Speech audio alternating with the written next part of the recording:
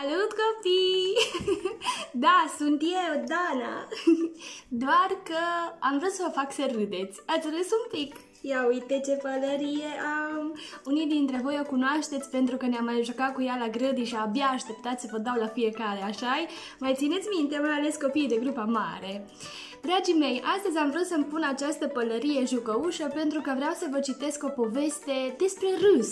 O poveste care se numește Pe tine ce te face să râzi? Și este povestea surioară, să zic așa, care vine după pe tine ce te face să fii fericit. Este vorba despre aceeași fetiță Maria uh, într-o poveste scrisă de Alec Blenche și cu ilustrații de Doina Accenti, apărută la editura Univers. Dragii mei, hai să vedem pe, ci, pe tine ce te face să râzi. Dacă sunteți gata, începem! Într-o zi, mama a întrebat-o pe Maria. Maria, pe tine ce te face să râzi? Dar Maria n-a știut ce să răspundă, așa că toată ziua s-a gândit numai la asta.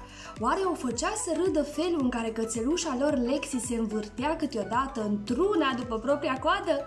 Pe mine mă face să râd asta. Da, era amuzant, mai ales că mai și lătra de zor la coadă, dar fetița deja se obișnuise cu acest spectacol. Sau poate felul în care tati o striga încă de când era ea micuță, folosind tot felul de nume ciudate ca Bubulina, Pitițu, Bibi sau Bibilica? Sau o amuzat teribil când tati o făcea pe balerina? Mmm, asta sigur era foarte distractiv, dar nu mai făcea să râdă atât de tare ca la început. Ori poate era felul în care motanul lor Simba torcea, ori de câte ori te uitai la el, nici nu era nevoie să-l atingi, doar dacă te apropiai și te uitai la el, începea să toarcă instant. Sigur că da, Simba era foarte simpatic și îi stârnea hohote de râs. Și mai era și mami care se chinuia să fredoneze cântecele ei rock preferate. Clar, mami era și ea tare amuzantă. Și totuși, niciunul dintre aceste lucruri nu o făcea să râdă cu gura până la urechi, până o dureau maxilarele. A doua zi, după ce își bătuse capul zadarnei cu întrebarea asta, ajunse să-și pună o altă întrebare. Da, oare de ce este important să știi ce te face să râzi? Că până la urmă, dacă este amuzant, râzi, dar dacă nu este amuzant, nu râzi că doar nu poți să râzi forța sau, sau să te abții să râzi, nu? Se gândi Maria și se duse în viteză la mami să-i spună concluzia ei de care era foarte mândră. Auzind vorbele Mariei, mama o rugă să se așeze pe canapea și începu să-i explice. Iubita mea, ți-am pus întrebarea asta cu un scop foarte important, iar răspunsul nu era pentru mine, ci mai mult pentru tine. Da? Păi cum vine asta?" întrebă Maria mirată din calea afară. Păi uite, îi spuse mama cu vocea ei caldă, știu că în ultima vreme ai început să te sperii de tunete și de zgomote puternice. Da, așa e și vin imediat peste voi în pat. Nicăieri nu mă simt mai în siguranță, zise Maria zâmbind, deși știa că mami și tati aveau uneori nevoie să fie singuri, mai ales că acum ea era mai măricică. Și mai știu că ți este frică de întuneric și de cântecul greierilor, îi spuse mami pe același ton. Mhm, și asta, mai ales asta. Nu înțeleg cum greierii pot să cânte atât de tare. Sigur sunt greieri? Știi, am mai discutat despre asta. Da, sunt greieri, nimic altceva și ei cântă peste tot, nu numai la fereastra ta, spuse mami. Făcu o pauză să o mângâie ușor pe frunte, apoi continuă. Apoi mai știu că ți este teamă de animalele mari și de unele insecte. Da, mami, așa e. Mi-e frică de toate lucrurile astea. Și ce pot să fac? Întrebă Maria lăsându-și capul în jos cam stânjenită. Păi exact despre asta este vorba, îi răspunse mami, ridicându-i ușor bărbia.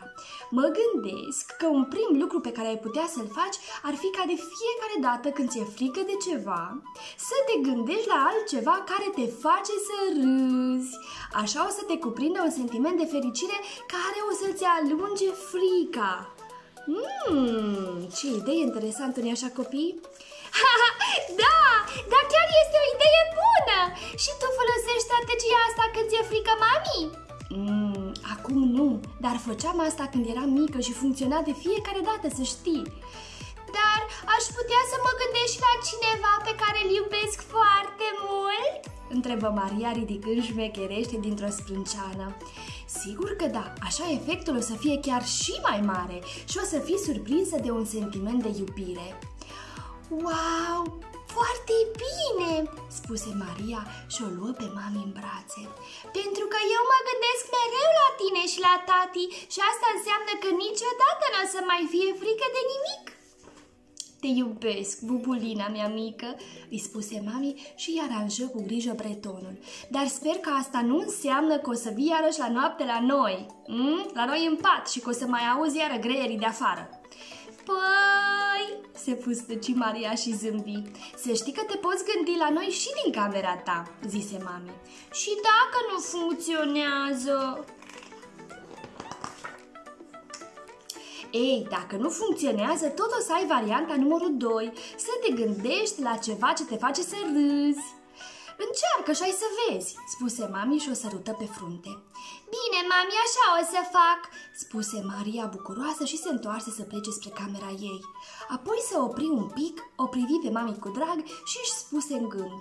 Și dacă nici asta nu funcționează? Ei, își răspunse singură, tot o să am varianta numărul 3, să mă duc peste ei în pat. Apoi închise ușa camerei ei și începu să se gândească iarăși la toate lucrurile care o făceau să râdă și o făceau fericită. Și ghici ce? Erau chiar mai multe decât se așteptase. Și așa se termină povestea. Cum vi s-a părut?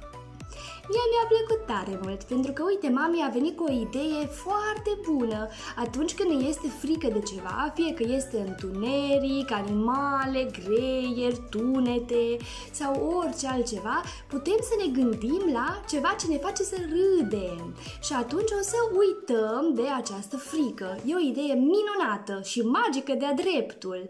Acum, hai să vedem, oare voi la ce v-ați putea gândi? Ce vă face pe voi să râdeți? Pe lângă pălăria mea. Mm? pe mine mă mai face să râd și uh, pisicile mele și câinele meu atunci când fac câte o prostie. Deci râd foarte tare pentru că nu mă pot abține. Tot timpul când strică ceva sau deranjează ceva prin casă, bine, nu când strică ceva ce îmi place, dar atunci când deranjează lucrurile, să zicem, atunci mă apucă râsul și nu mă mai pot opri pentru că sunt tare amuzante, da? Sau îmi plac glumele pe care le găsesc pe internet și astea mă fac să râd. Sau atunci când uh, fratele meu îmi spune o glumă ca să nu mai plâng sau să nu mai fiu supărată și mă face să să râd. Și asta îmi place, da? Deci gândiți-vă, oare pe voi ce vă face să râdeți? Poate atunci când vine mami și tati și te gâdilă, mm? sau poate altceva. Gândiți-vă la asta și atunci când vă este frică, gândiți-vă la ce vă face să râdeți și o să vă treacă frica mai repede. Vă pup, dragilor! Ne vedem săptămâna viitoare! Pa!